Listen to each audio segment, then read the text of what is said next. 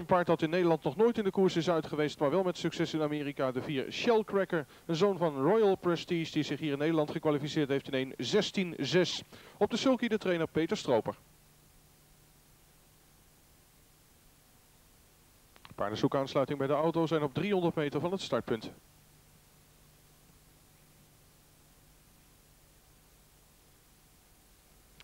Paarden nu aan de auto op 250 meter.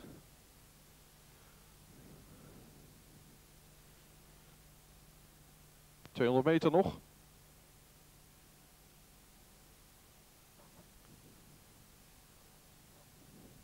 ...100 meter. 50 meter. En de start is gevallen.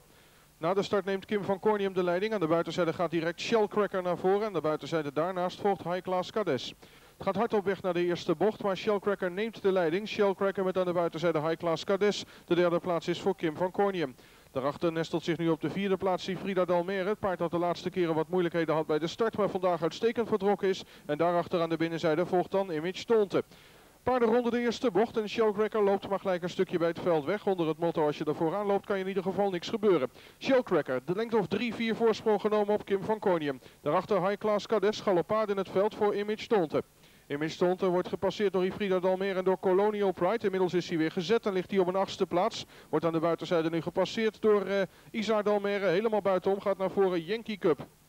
Paarden komen voor de tribune langs. Groeiende voorsprong voor Shellcracker. En als hij inderdaad zijn kwalificatietijd gewoon neerzet... Galop. Als hij inderdaad gewoon zijn kwalificatietijd neerzet, deze Shellcracker, dan loopt hij hier 1.16.6. En zal die inderdaad voor deze paarden niet te belopen zijn. Shellcracker heeft een lengte of, nou 30, 40 voorsprong genomen op Kim van Cornium. Daarachter volgt High Class Cades. Vierde aan de buitenzijde is Yankee Cup. Vijfde aan de relingzijde Frida Dalmere. Daarachter volgt op een zesde plaats aan de buitenzijde Colonial Pride. Zevende aan de relingzijde is Eating Out. Daarachter op een achtste plek Isar Dalmere. Negende aan de relingzijde is Image de Op een tiende plek volgt Ike Olderson. Elfde daarachter is Ingo Transer. En de lengte of vierde daarachter een uitgeschakelde deelnemer. Halverwege de rechterlijn overzijde. 100 meter voorsprong voor Shellcracker. Shellcracker gaat lekker. Peter Stroper kan genieten van de omgeving hier op Duindicht. Die is als vanouds prachtig dus. En de voorsprong wordt alleen maar groter. Inmiddels zeker een dikke 120 meter. Shellcracker gaat de laatste bocht in. De rest is nog op weg naar de laatste bocht. Shellcracker. Daarachter volgt Kim van Cornium. Aan de buitenzijde Yankee Cup op de derde plaats. Vierde aan de buitenzijde is Colonial Pride. Vijfde aan de relingzijde High Class Cades. Maar het is al halverwege de laatste bocht. En de recht gaat nu de bocht pas in. En is nu halverwege de laatste bocht. Shellcracker met 150 meter voorsprong. Shellcracker. Het lijkt wel een televisieserie als je dit soort koersen in een televisieserie laat zien. Dan zeg je dat kan geen echte draverij zijn. Want met zoveel voorsprong winnen paarden nooit. Nou deze wel. Shellcracker. 150 meter Op een tweede plaats Yankee Cup. Aan de buitenzijde Colonial Pride. Kim van Cornium daarbij. Binnendoor probeert naar voren te gaan. High Class Cades. Maar het is helemaal alleen Shellcracker. Geeft u maar een applaus dames en heren. Want dit paard hoort niet in deze winstomklasse thuis. Dit is een hele goede Shellcracker. Peter Stroper. Fantastisch. 150 meter voor de paarden. Makkelijker komen ze niet. Shellcracker wint. High Class Cades wordt tweede. Colonial Pride pakt de derde plaats. Voorlopig in cijfers 4, 5, 7. 4, 5, 7 voorlopig.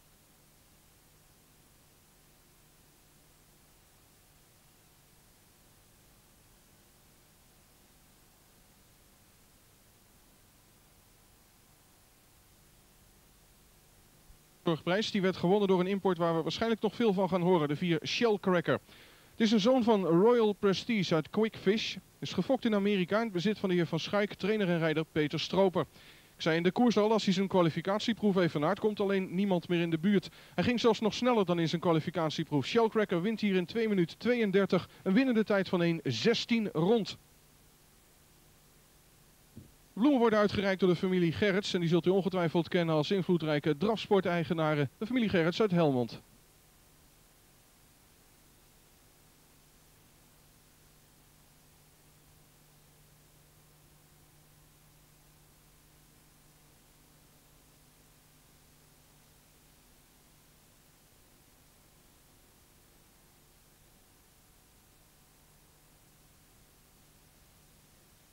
Dan gaan ze, dames en heren, en uw applaus hebben ze zeker verdiend. Shellcracker, Peter Stroper.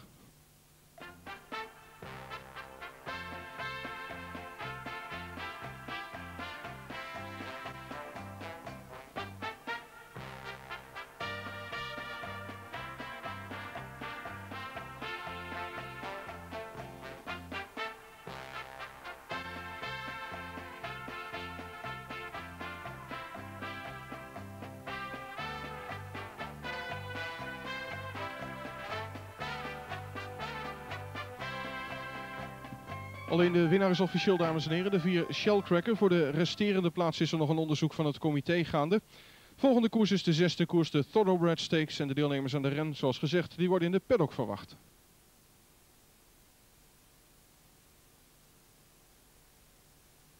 maak iedereen erop attent dat er zo dadelijk in de infostand weer nieuwe aanmeldingsformulieren voor de verloting van de Draven Fokmerrie beschikbaar zullen zijn.